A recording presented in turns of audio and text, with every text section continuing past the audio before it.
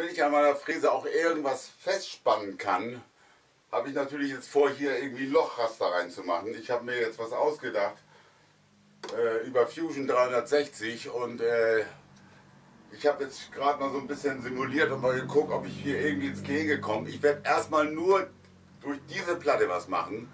Das heißt, ich werde das jetzt einstellen, dass er äh, den Nullpunkt findet und dann, ja, dann wollen wir mal loslegen. Kann man auch so machen.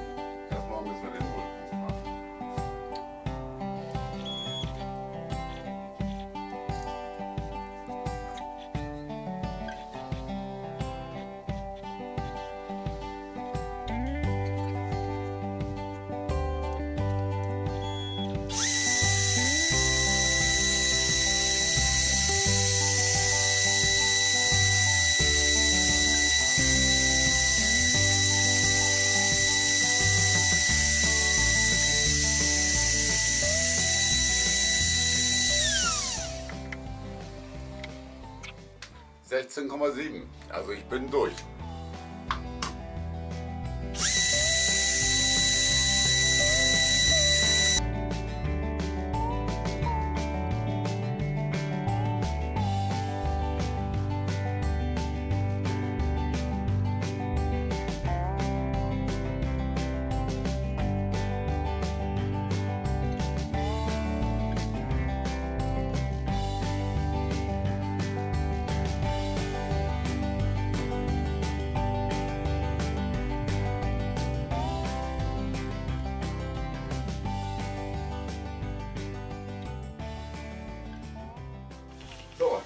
Die ersten Löcher sind drin. Falls ihr euch jetzt wundert, warum man dann vom vorderen Loch ganz nach hinten gegangen ist, das hintere Loch hier hinten habe ich bei der äh, Konstruktion ja, verhauen. Da habe ich den, den Außenkranz gemacht und ich kam da irgendwie nicht ran. Ich habe da irgendwie Probleme gehabt. Da habe ich das Loch gelöscht. Nachdem ich das letzte Loch hier unten hatte, habe ich das Loch gelöscht und habe das ganze Loch nochmal gemacht. Ja, jetzt ist er hier fertig mit seinem ersten Durchgang.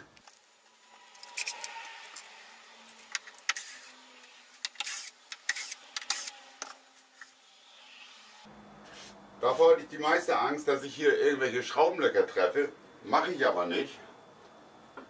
Wie man sehen kann, ist er super, ja, super an den Dingern vorbei.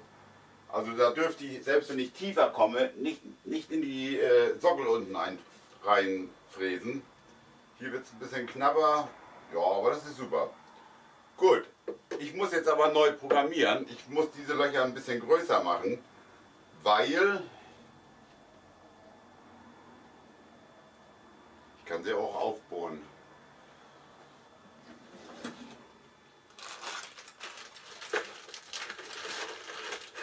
Hier sollen überall so Gewindehülsen rein. Die äh, setze ich da rein und ähm, werden verschraubt. Und dann wird einfach, wenn ich die Opferplatte nochmal mache, kann ich die Opferplatte einfach nach dem Programm, was ich ja jetzt erstellt habe, nochmal fräsen. Aber ich denke, man kann auch hier einfach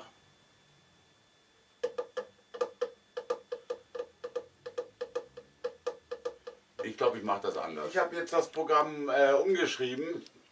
Ich habe das gleiche Programm genommen, was, äh, was ich vorher genommen habe für, das, für die, für die äh, Der spricht kein Deutsch. Opferplatte.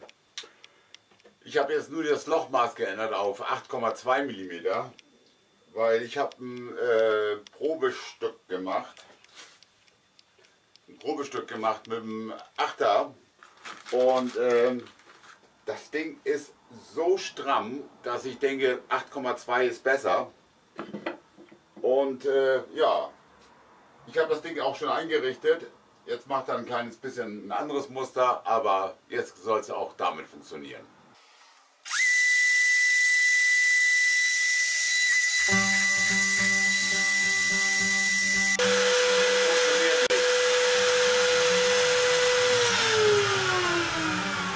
Funktioniert nicht. Er hat hier gerade mal 3 mm reingefräst.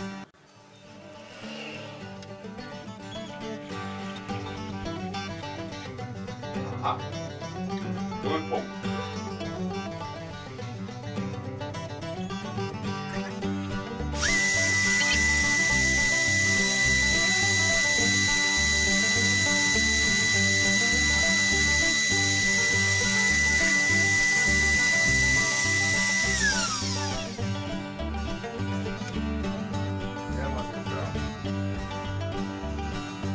sage ich ganz normal.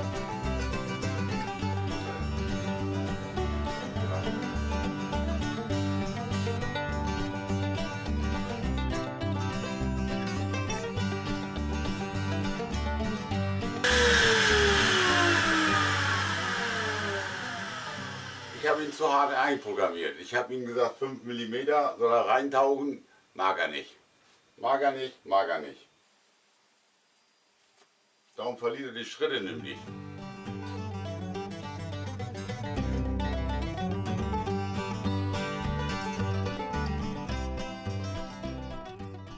Ich weiß jetzt, woran das liegt.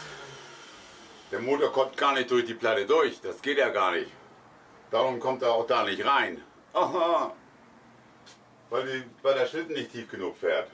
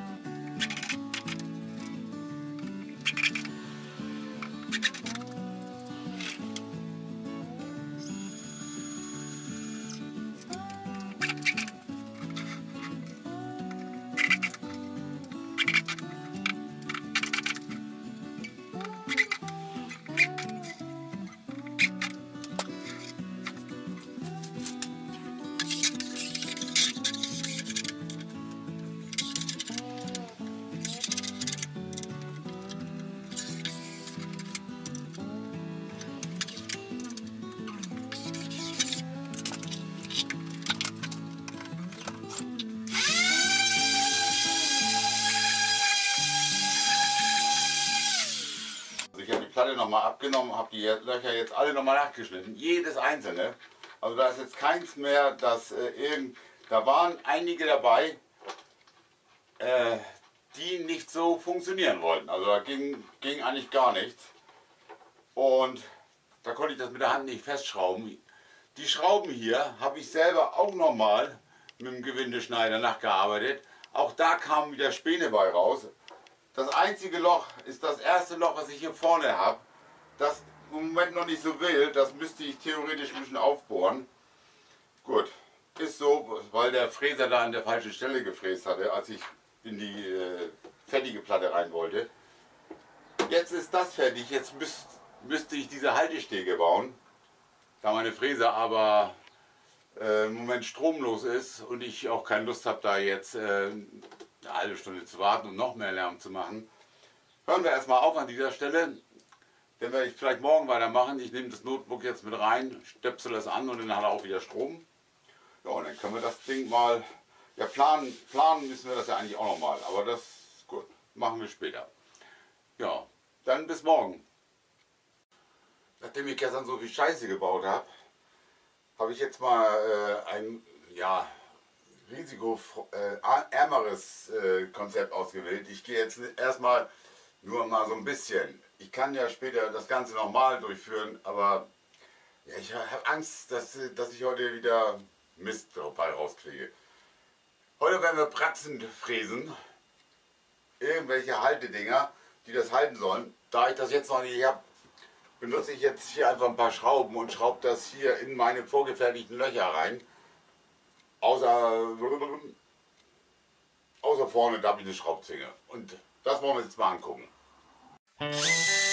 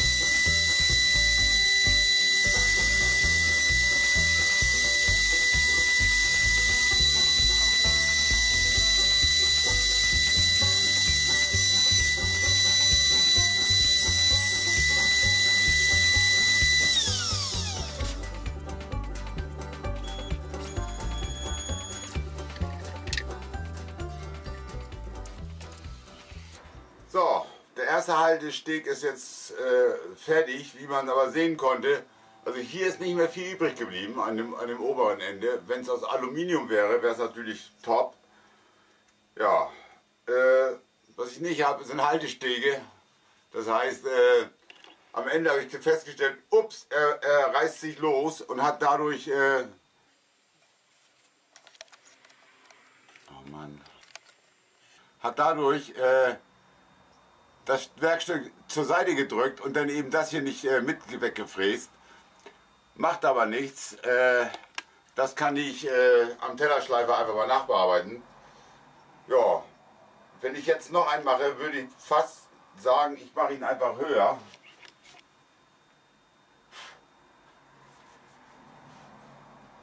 Obwohl das jetzt gerade gerade so durch, also wirklich gerade so durch. Also ich werde davon noch ein paar machen.